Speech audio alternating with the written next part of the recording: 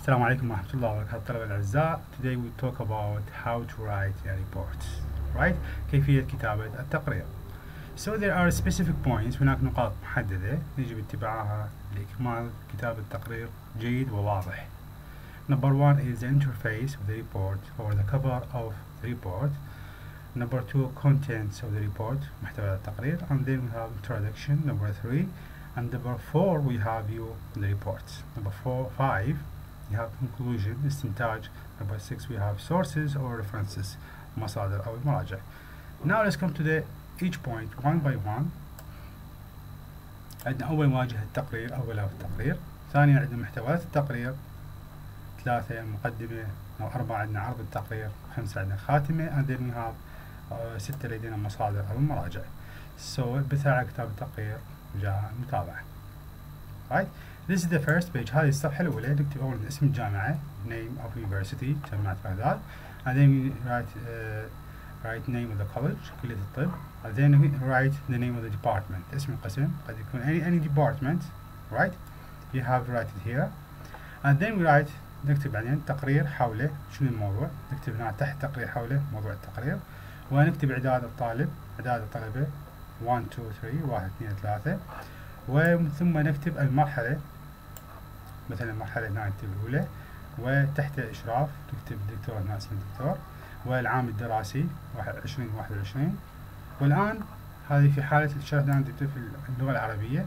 نبدأ الشرح في اللغة الإنجليزية report about التقرير عن اسم الموضوع report about and then write subject to the report موضوع التقرير يصير بالأسفل. و student preparation تحضير الطلاب write 1 2 3 تكتبون اسماءكم باللغة الإنجليزية. طبعا هذا التقرير الواجهة تكون باللغة الإنجليزية. ليش؟ لأنه أنتم راح تكتبون موضوع في مادة اللغة الإنجليزية. Right? So you have to write everything in English language. Okay? Now طبعا نكتب ال stage المرحلة. وعند supervision تحت إشراف الدكتور. تكتبون اسم الدكتور. الآن نأتي هذا الجدول number 2 uh, second contents المحتويات. ما هي محتويات هذا التقرير؟ أولا المقدمة. المقدمة لا يزيد عن صفحة واحدة المقدمة. لا تزيد عن صفحة واحدة. we have أهداف التقرير والخاتمة والمراجع والمصادر. Introduction report calls conclusion استنتاج و references or sources. Right. Now let's come to the third one which is introduction. تتكون المقدمة من الفكرة العامة عن موضوع التقرير بشكل واضح ولا تزيد عن صفحة واحدة. Third, introduction. The introduction consists of a clear general idea of the topic of the report and does not exceed one page. واضح؟ المقدمة هي عبارة عن فكرة عامة عن الموضوع التقرير بشكل واضح ولا تزيد عن صفحة واحدة. عرض التقرير، كيف تعرض التقرير مالتك في أثناء الكتابة مالته؟ هو كتابة جميع المعلومات حول التقرير ووضع الأفكار بشكل مكمل لبعضها البعض. Is very important هذا مهم جدا معلومات تكون مترابطة وبوضوح وبدون أي غموض وهذا يأتي من البحث العميق عن الموضوع. Fourth, presenting the report. It is to write all the information about the report and put the ideas in a complementary way to each other clearly and without any ambiguity and this comes from a deep research on the topic. Right? ففكرة عرض فكرة عرض التقرير لازم تكون أفكاره كلها واضحة وكتابته في اللغة الإنجليزية تكون مترابطة من ناحية الكتابة كتابة اللغة. خاتمة هي ملخص خامسا طبعا هي ملخص لما توصلت إليه من نتائج خلال نتائج خلال تقريرك وتكتب بعدها التوصيات من أفكارك التي خرجت بها من خلال نتائج التقرير. Fifth conclusion, it is a summary of what you have reached from the results of your reports and then you write the recommendations from your ideas that you came out with through the report's findings. Right? الخاتمة هي نتيجة قراءتك نتيجة متابعتك لهذا الموضوع. طيب.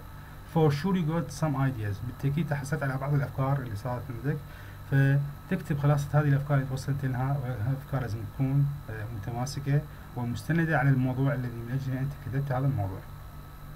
Right? Okay, so let's come to the last one. المصادر أهم فقرة لابد من كتابة المراجع أو المصادر التي استندت إليها خلال كتابة التقرير وترتيبه يكون كالآتي طلاب المصادر مهمة جدا في كتابة التقرير كتابة بحث التخرج وكتابة الماجستير والدكتوراه مهمة جدا ليه؟ ليش؟ لأنه أكو أكو ناس سبقوكم كتبوا هذه المعلومات وفروها لكم في قاعدة البيانات سواء موجودة في الإنترنت أو في كتاب right فمن الضروري جدا كتابة هذه المصادر right في حال عدم كتابتها تعتبر سرقة لجهود آه، الكاتبين لهذه البحوث والكتب والمجلات إذا المصادر أهم فقرة لابد من كتابة المصادر مراجع المصادر التي استندت إليها خلال كتابة التقرير وترتيبه يكون كالآتي كيف أنا أكتب المصادر؟ المصادر تكتب بالطريقة الآتية اسم المؤلف عنوان الكتاب أو البحث مكان النشر وسنة النشر Sources or references. The most important paragraph must be written. The references or sources on which rely during written during writing the report and its arrangement as as follows. مثل ما قلت لكم our name of the author, title of the book or research, and then third place of publication, number four year of publication.